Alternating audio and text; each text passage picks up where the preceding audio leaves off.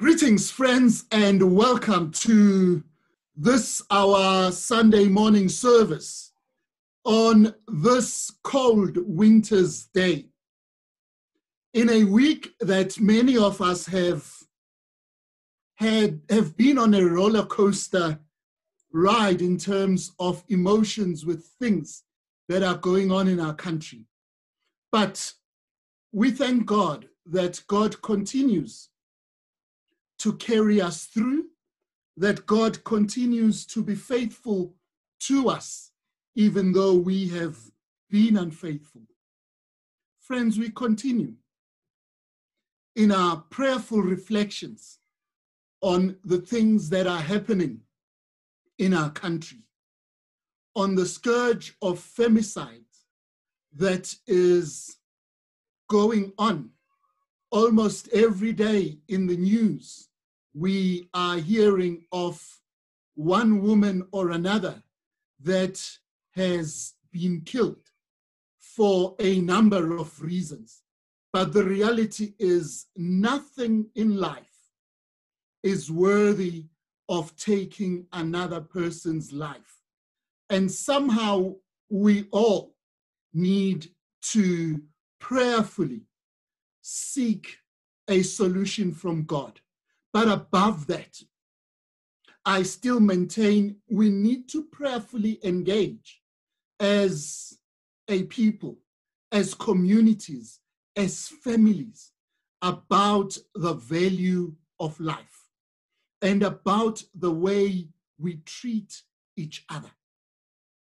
Because these things are not being done by people who have no families these things are not being done by people who just came out of nowhere. They are part of a family. And I'm saying we need to redress our family structures. On this Father's Day, we need to engage seriously with what it means to be a father. We need to engage seriously with the reality that our fatherhood is based on the fatherhood of God. In other words, we have an ideal to live towards, we have an ideal to look up to. And we, as church, we need to be the space that defines what fatherhood is all about.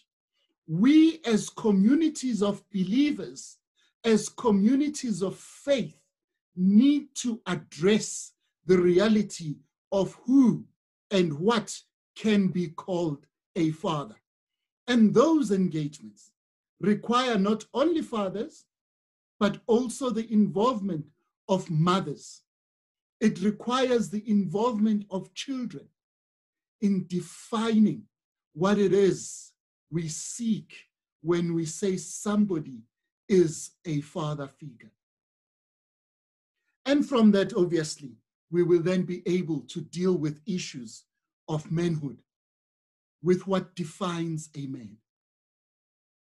And what do we speak to when we say men in our society have not only become an endangered species, but they have become the creature that is to be feared, not only by men, but by everybody.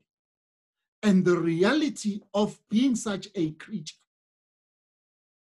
distorts the image of God, distorts the reality of who God is, because God is seen in whom men and women are.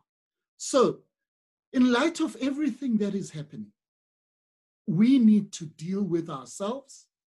We need to deal with the spaces around us in our families, in our workspaces, in the communities we have forged, including the faith communities. So, friends, the invitation is out there. How do we find ways to be human at the most basic? Towards one another. Come, let us pray.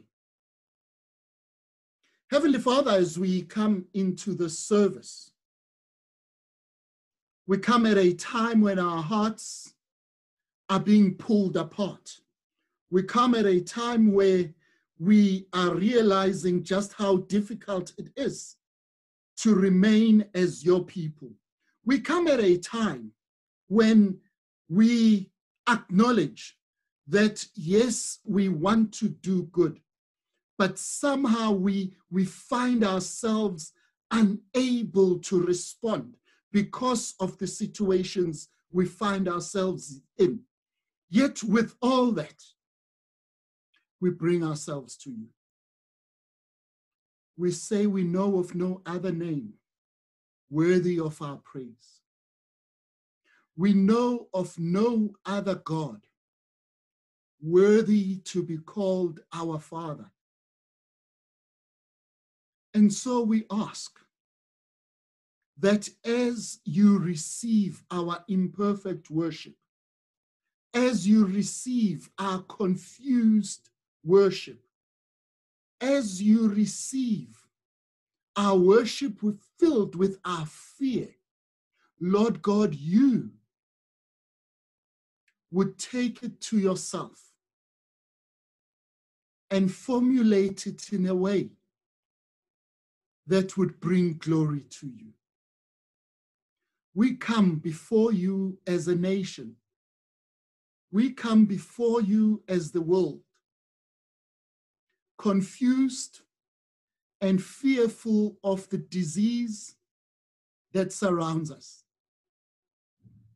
confused and angered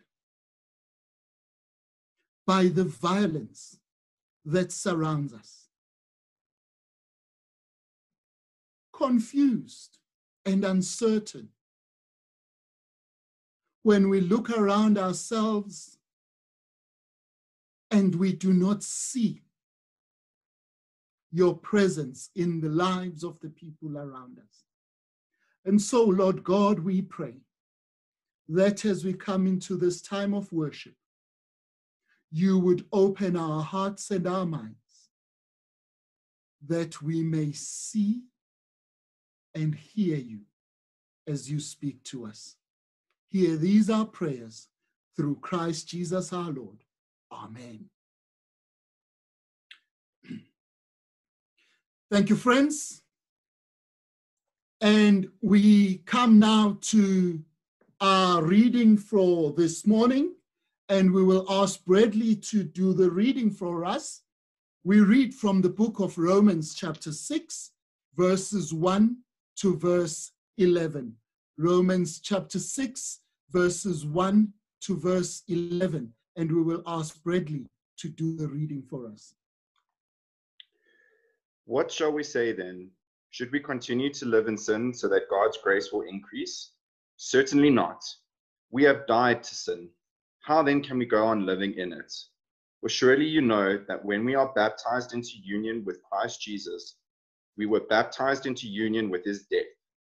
By our baptism, then, we were buried with him and then shared his death, in order that, just as Christ was raised from death by the glorious power of the Father, so also we might live a new life.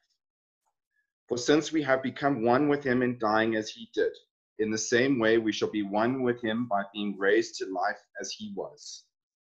And we know that our old being has been put to death with Christ on his cross, in order that the power of the sinful self might be destroyed, so that we should no longer be the slaves of sin.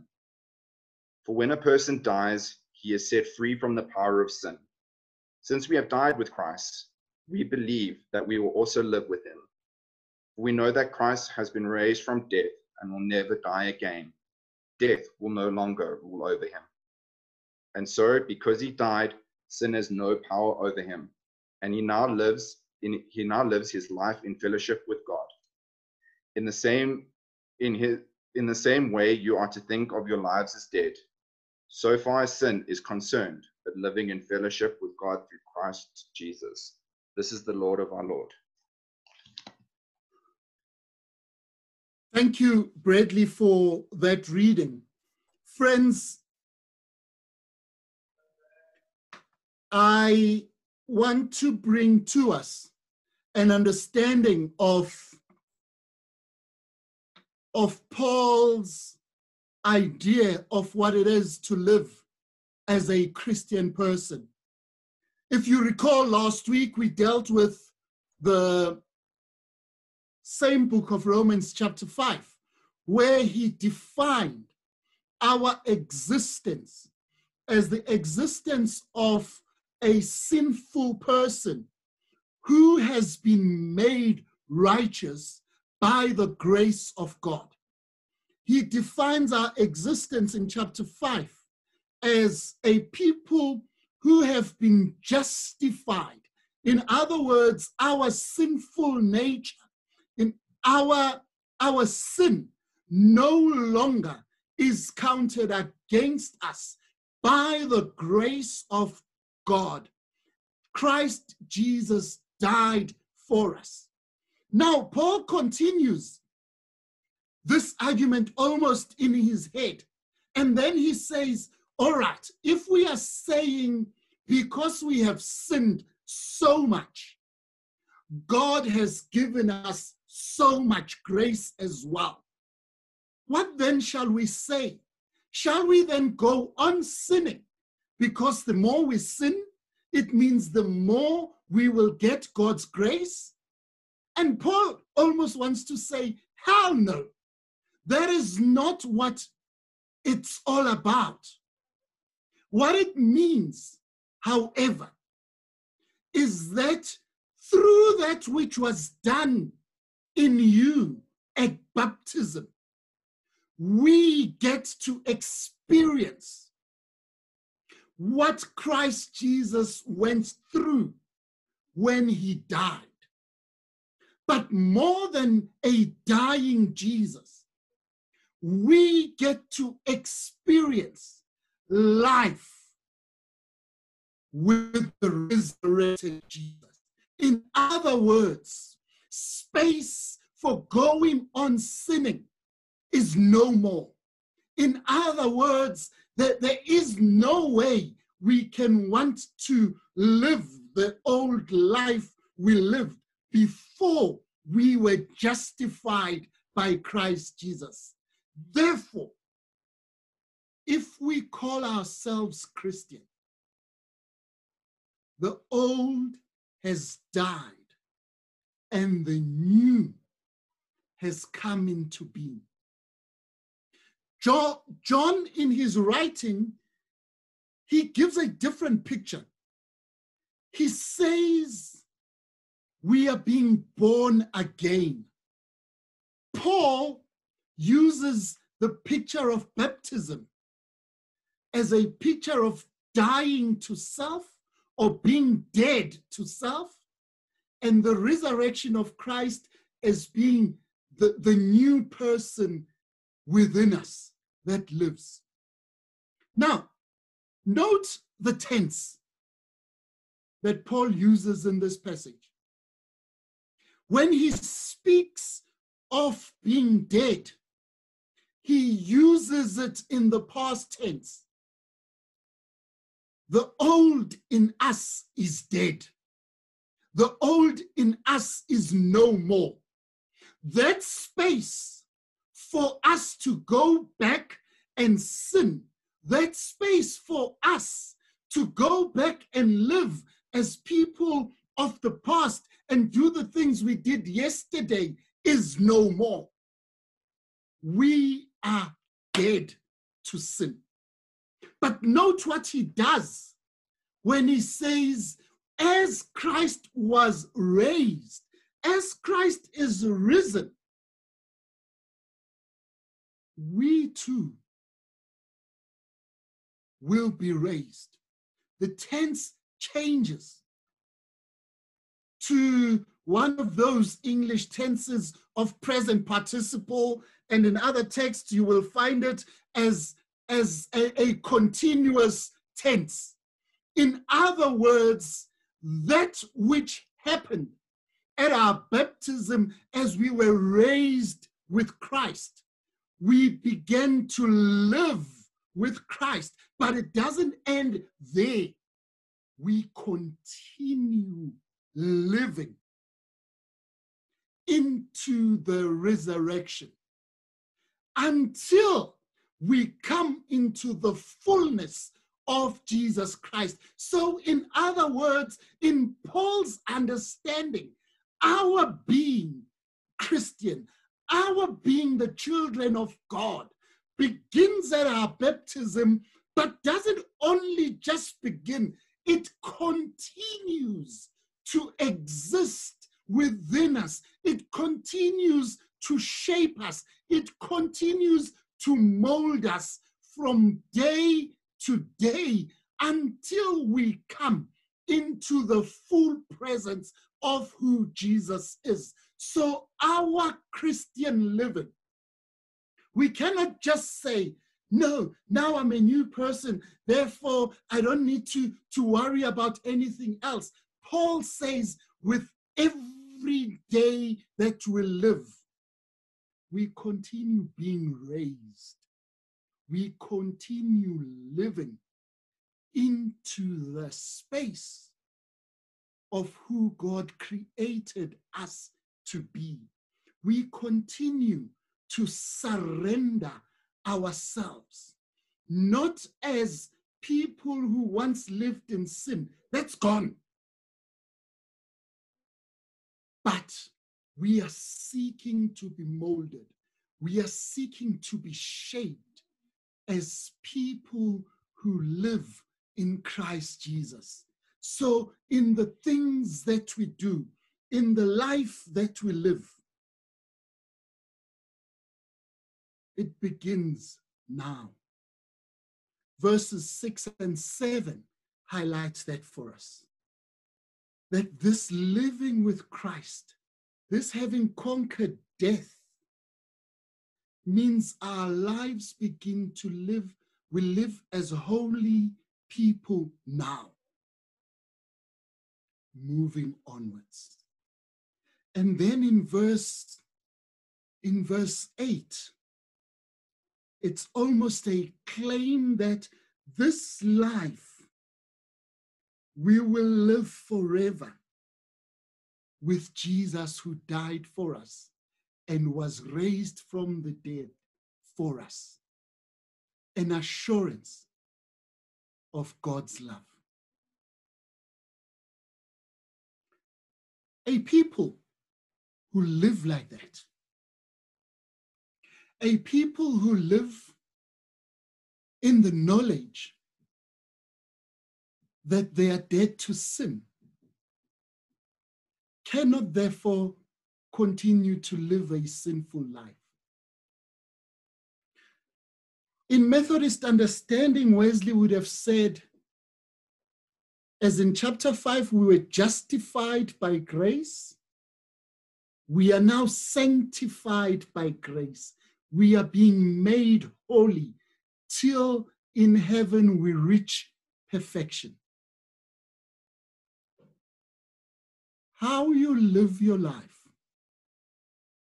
how you interact with your neighbors, how we interact with the world around us, how we care for people, how we treat those who are less fortunate than ourselves, how we treat our employees, how we treat the people around us, all matters to God.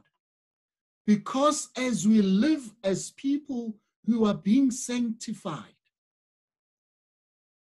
we need to live with care that our actions don't just represent us, but they represent the one to whom we belong. At baptism, we are claimed by God for God. At baptism, we are made whole new beings for God. And therefore, every step that we take represents the one to whom we belong. This is where we are no longer strangers, but brothers and sisters. And so we are called to live as brothers and sisters. This is where human life takes on a whole new form. And we need to address how human life has become so easy to be taken by other people. What does it mean to be human? What do we mean when we see the humanity of the other person in their eyes? I want to say it doesn't only just mean recognizing another person being made in the image of God. But in Africa, it's about seeing the thing we call Ubuntu, seeing the humanness in the other person. If we live in a society where Ubuntu is vanishing, how we treat other people becomes a painful journey. But Ubuntu also says something else. How do we treat those who have lost their humaneness? I'm hearing many people calling for the return of the death penalty. The state, just like humans, cannot take upon itself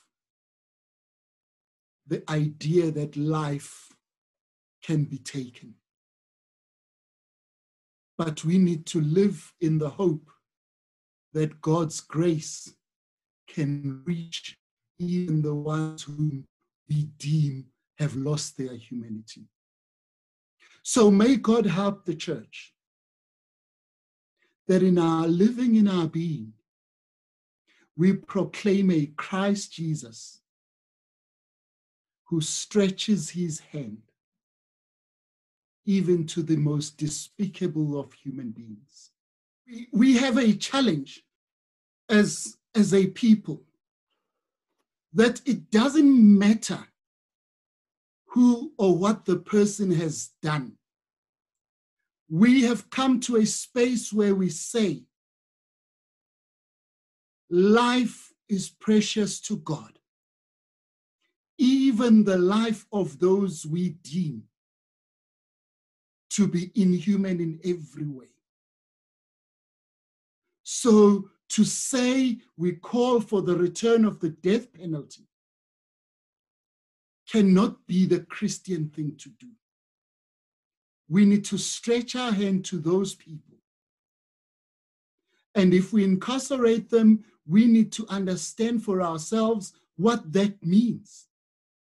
And in partnership with government, we need to be able to say, what programs do we put in place? for such people.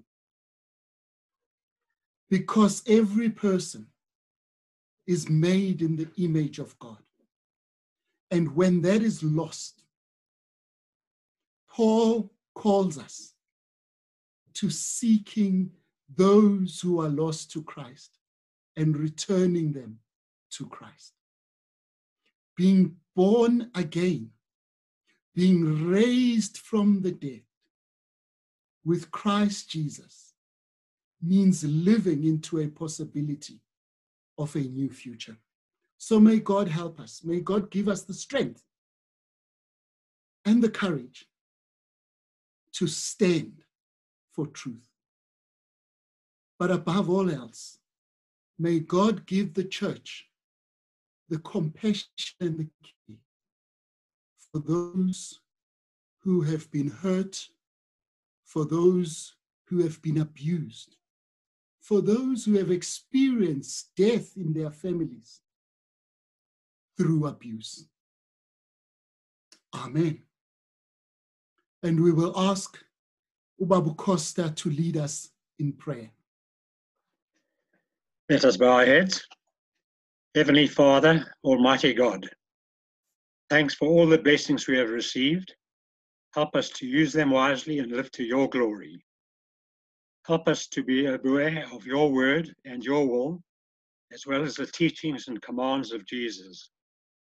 We pray that your Holy Spirit gives us the strength and courage to follow and apply them so that this may help your kingdom to come.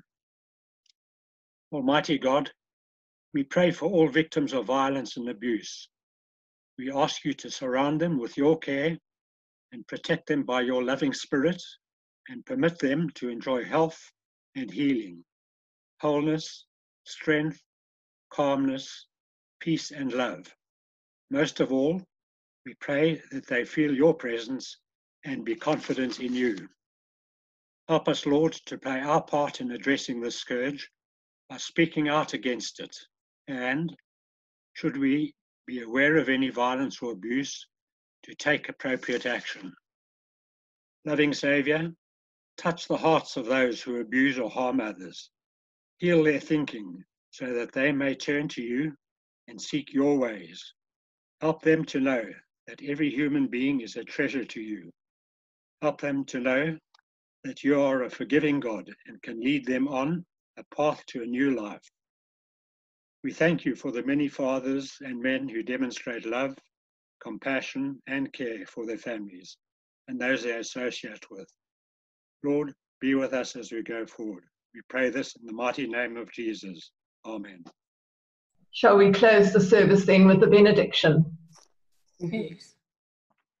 And now may Now, the grace grace of our Lord Lord Jesus Christ Christ, The love the love of God, God, and the and fellowship the of the of the Holy Holy Spirit Spirit Spirit. be with us be all, with us Us all all. now and and forevermore. forevermore. Amen. Amen. Amen. Thank you, everyone, for having tuned in. And may you have a blessed week ahead. And please keep warm. Please stay safe. Please make sure you observe all the protocols for COVID so that you and those around you continue to be safe. God bless you. Cheers.